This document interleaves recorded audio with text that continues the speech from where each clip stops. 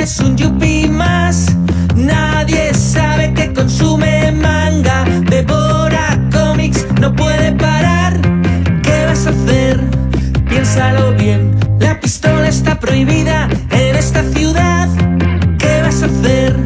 Piénsalo bien. Una vez